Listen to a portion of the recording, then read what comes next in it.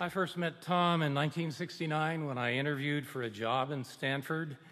And he, along with Tom Kailath and Marty Hellman, made the place an absolute paradise for a new information theorist, newly minted when I went there. But when I went there, I really had no clue who he was, other than the fact that he had been a roommate at one time with my dissertation supervisor, Bob Scholtz.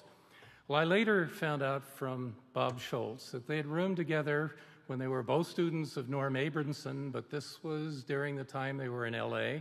Bob was working, pardon me, Bob was working at Hughes and Tom was working at Rand. But Bob almost never saw Tom because virtually every evening except Friday he was in Gardena at the gambling clubs.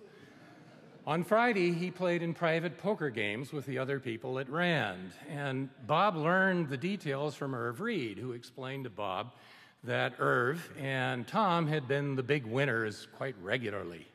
And then Bob heard from virtually every other player in that Rand group that he knew that they and Tom had, in fact, been the big winners.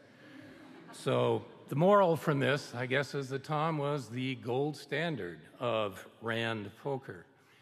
I knew him probably best in the 70s and 80s, and mostly social rather than technical. We only wrote one paper together, and that was a memorial for Andrei Kolmogorov. But I will always associate him with what was probably the most entertaining evening and certainly the best dinner I ever had in Le Carton, a then two star restaurant in Paris, with Tom and my wife Lolly.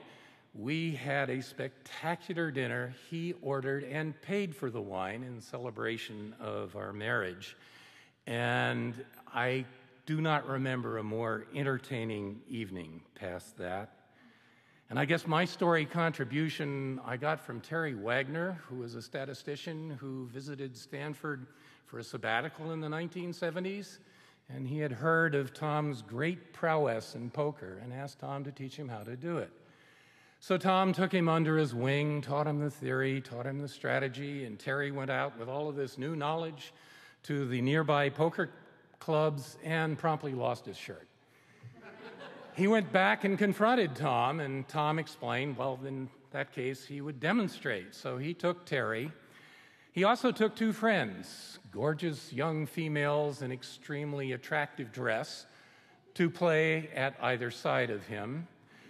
And women were not then welcome in poker clubs, but it was clear in those days that they could not legally exclude them.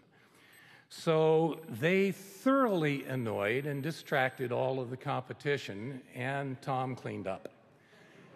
Now, I'm not going to draw any great conclusion from this, but I will observe that it reminds me of Oscar Wilde's self description that he only put his talent into his work he put his genius into his life, and Tom's life was a masterpiece. Thank you.